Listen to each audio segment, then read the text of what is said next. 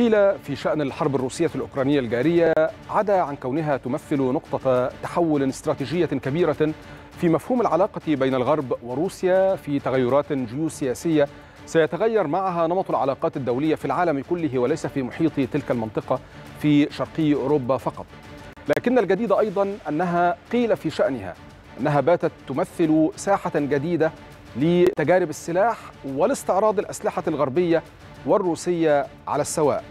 قيل في شأنها أيضا أن اختبارات جديدة تتم لأسلحة ربما لم تستخدم من قبل حتى وإن حيزت لدى جيوش بعض دول العالم وتحديدا في الفريقين المتناحرين في ذلك المحيط.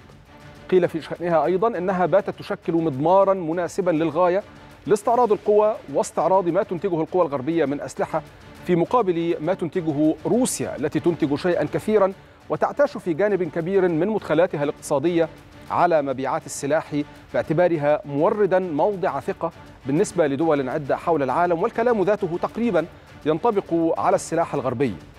لكن حقيقة أن هناك جزءا من الابتكارات لأسلحة صحيح هي تعود لعقود طويلة خلت.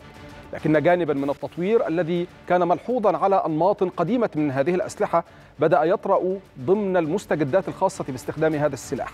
إما لأنه أقل في التكلفة وهذه حرب ابتلعت مليارات الدولارات من الفريقين على السواء أو باعتبارها قد تكون أقل كلفة حتى على مستوى الخسائر البشرية التي بدت مؤثرة للغاية لكلا الفريقين على السواء. كلنا تقريبا تابعنا واستمعنا للتقارير التي كانت تتحدث عن الطائرات المسيرة عن الدرونز ومختلف تحويراتها وإنتاجاتها التي جرى استخدامها في هذه المعارك. لكن الجديد أيضا في هذه الآونة أن هناك نمطا جديدا من الاستخدامات لمسيرات أخرى لكنها هذه المرة ليست الطائرات هي الزوارق.